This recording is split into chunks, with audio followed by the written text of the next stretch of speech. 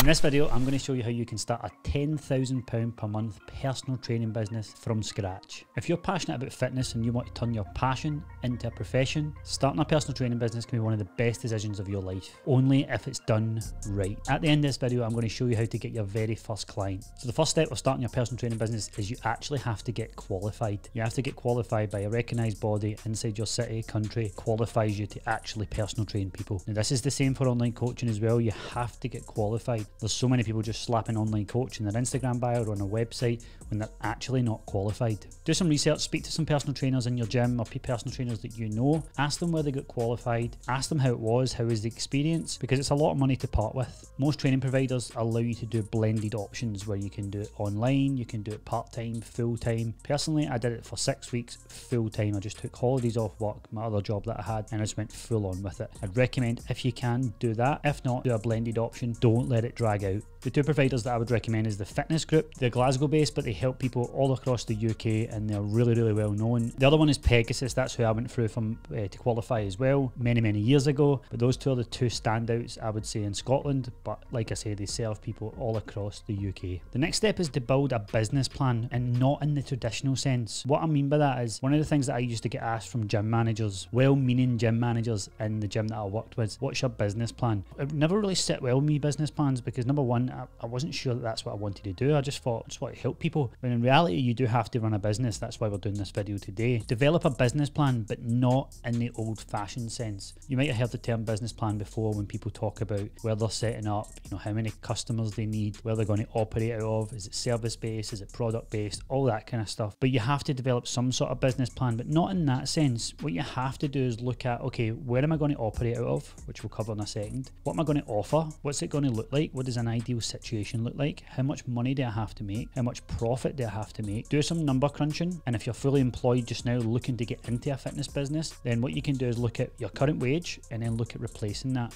And then just look at the product that you're selling how many of them you have to sell to replace that wage. And I'll cover that a bit more in detail in a second. But develop a business plan. You're not going to have full clarity on what that could look like, but just get some notes down, brainstorm a little bit, understand that, okay, I'm not just going to be going from loving the gym to all of a sudden a really qualified personal trainer where you're going to get hundreds of clients. It's a business at the end of the day. In fact, it's a business at the start of the day and the end of the day. The next step is to set up your business. So you're going to want to register yourself on HMRC or wherever you're watching this from. Register your business, start up a bank account, register to that business. I really like Starling Bank. It's really, really simple. It's an online bank and it's, it's very, very clear. You can run your taxes through there. You can manage your expenses really, really well. I'd recommend that. You can also use Monzo, things like that. But set up your bank account so that you can actually get paid. The next thing you're going to want to do is actually pick a gym. So if you're going to be a personal trainer, pick a gym, identify a gym. If you're going to be online coaching, then it's separate. But if you're going to be a personal trainer, then you need to identify where you could potentially work and coach people from. The biggest thing I can recommend here is just go on Google Maps, look at where you stay, where you want to coach from. If you don't want to do it in your city and you want to branch out a little bit, fine. But look in Google Maps, zoom in, type in gyms, have a look at them. You get commercial gyms, where as you'll know, it's the budget gyms with thousands of members. Then you have independent gyms, which is kind of privately owned. And then and then you kind of have like health centres like David Lloyd and places like that. Now, they've all got their pros and cons. I personally started out in a commercial gym, I started out in pure gym. The pros to that is that there's loads of members, loads of conversations can happen, you can help loads of people. The cons to that, if you want to call it cons, is that there's a lot more trainers there, so there's a lot more competition around about you to get clients. For independent gyms, you'll have probably a bit more flexibility in terms of agreements and what you can work and you know how much it's going to be. The downfall is that you're probably not going to have the footfall that a budget gym would have. And lastly, those kind of health clubs like David Lloyd, Nuffield, things like that. The pros to that is that it's higher end clients potentially, people who go there who can afford an expensive gym membership. So in theory, they could afford more expensive personal training. The cons are that you're not going to be surrounded by a lot of PTs. They don't have really good options in terms of running your business there. In fact, it's probably one of the worst. Whereas they hire you, they take a cut of your uh, individual personal training hours, and you'll probably hear two terms when you approach these gyms. It will be shifts and rent. Rent basically just means that you go in there and you pay a set fee where you rent the space to coach your clients from. They don't touch your income, they don't deal with your business, you just pay them rent to be there. Now, the pros to that is that you get left alone, you can operate, you can go market your service. The cons are that you maybe don't get to do any classes and meet people and build up rapport with people. And then the opposite of that is shift work, where you go in, you do some shifts, it's maybe cleaning the gym, you run some classes there, you help around with the members, doing inductions and things like that. The pros to that is that you get to meet people and you can fill up your diary a lot faster. Of course, the cons are that you're then working for someone, doing time for them when you could be making money. And then more recently, gyms have started to do like a little bit of a half and half where you do some rent, you do some shift work. And again, this all really depends on you. It depends on the level of how fast you want to get to where you want to get to. Um, some people like to just dive straight in and go on rent and pay the money so they can pick up clients. If you're not great on social media and not great at marketing, you probably want to stick around for our next video that's coming. But if you're not, then you maybe rely on your people skills, which is being in the gym, speaking to people. So to sum all that up, just pick a gym, pick a situation and an agreement that's going to suit you, suit your style of coaching and the type of people that you want to help.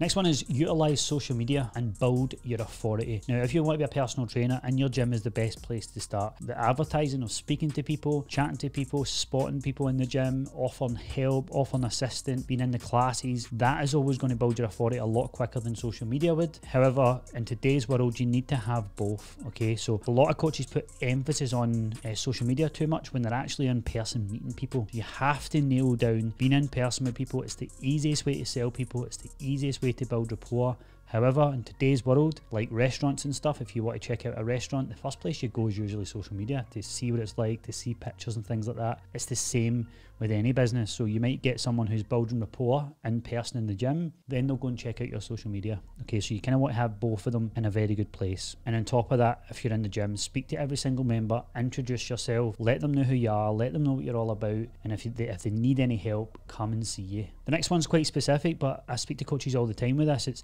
decide on a leaving date and the income that you need to leave your other job. So if you're thinking about starting a fitness business, then potentially you might already be in another job or employment. You then have to think about the security going forward. So you're probably worried that's probably your biggest thing. It's like, okay, I want to chase my passion, but at the same time, I need to pay the bills, I need to pay my mortgage, keep the kids going, all that sort of stuff. Get it, it can be daunting. I was in that exact position. So you then have to think about, okay, what's the date where I have to absolutely hand my notice into work? And what does that look like in terms of income for the business? So I mentioned earlier on, do you know let's say you get paid £2000 a month from your current job how do we replace that by getting £2000 in your fitness business? What product is going to get us there with the least amount of clients? So let's say for example £200 per client 10 of those clients paying you £200 that's £2000 that's you replace your old job. And it's crazy to think that 10 10 clients doing two two sessions a week that'll be 20 hours on the gym floor. So you'll replace probably your full-time job with 20 hours on the gym floor that just goes to show you how lucrative this can be if you get it right Second last one is begin selling to people, begin outreaching. Like I said, speak to people on the gym floor, but also introduce yourself on social media.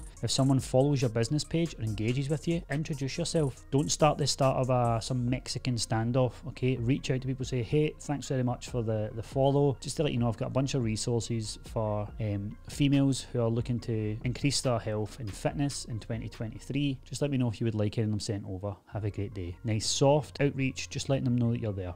Okay, don't start to think that other personal trainers who are too shy, they think it's salesy. Can you imagine walking into a shop and the person just kept their head down until you spoke to them, the person that owned the shop? You'd feel it's quite rude, wouldn't you? Well, in today's virtual, very virtual driven world, that's the equivalent. So you need to introduce yourself. But also, if people are liking your stuff and comment on it, thank them for it engaging with your stuff, thank them and introduce yourself. And the sort of second part of that is showing them your offer, give telling them what you're all about. And remember in the previous video we spoke about building an irresistible offer that kept you up at night that's the one you're going to tell them about. And lastly, continually educate yourself for the next two to three years at least. Now, this is one of the biggest problems that I certainly felt it for three years. I spent thousands of pounds on my qualification. I qualified, had a second job, and then I finally left the second job and I felt, you know what? I'm actually just paying off that £3,000 course that I paid. There's nobody else getting my money until I build my savings up. And it was actually the, one of my biggest downfalls because, because for three years I was playing the guessing game. I never knew what to do. I was watching other PTs and getting left, like led astray. And it was frustrating and it led to burnout, which I talk about a lot in, in my book that's coming out. So as soon as you make the money, reinvest it back into the business and your self development and knowledge because it's going to remove years of guesswork. Look, we know we spoke about the £2,000 that might mean a lot to replace your current wage. That's fine. Get that income, get yourself sorted, pay off your qualification, which by the way isn't £3,000 anymore. It was back then. Pay off the qualification, get yourself supported, and then look for help. Look at people who are ahead of you, who are doing the things that you want to do. Ask them stuff, pay them money to get the advice so that you can reduce your the guesswork by years. Videos like this were just not available when I was a personal trainer.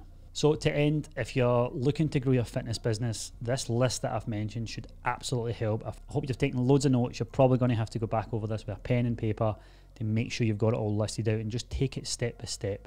And if you need any more advice, me or my team, there'll be a link below where you can grab a call, speak to one of us. We're actually looking for new success stories to join our thriving fitness business community. So click the link below, book a call with me or one of my team, and we'll be happy to chat about how we can grow your fitness business in 2023 to 10k months and beyond. Speak soon.